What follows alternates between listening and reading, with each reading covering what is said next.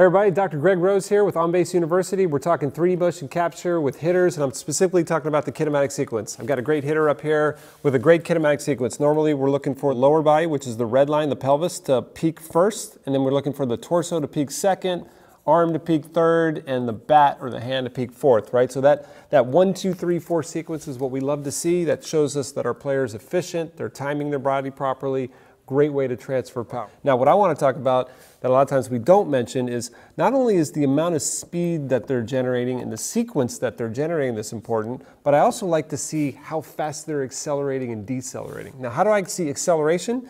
It's the slope of each of these graphs. So notice the red, that's the pelvis. Notice how steep it is. Looks like a volcano, right?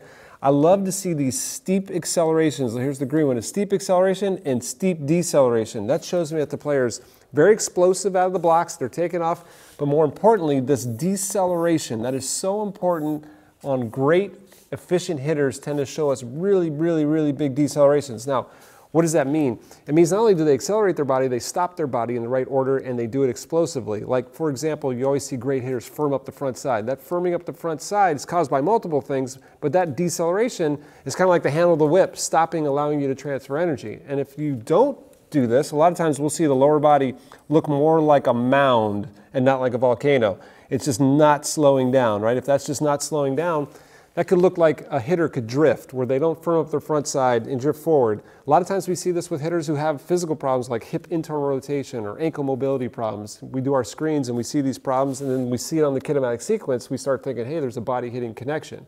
Sometimes it's they're not firing their upper body to try and help decelerate the lower body. So we could have problems in multiple places, hence why we do our screening, combining it with our 3D motion capture. I hope this helps. If you're interested in more things like this and more education on this, come check us out at onbaseu.com, and hopefully we'll see you at one of our workshops.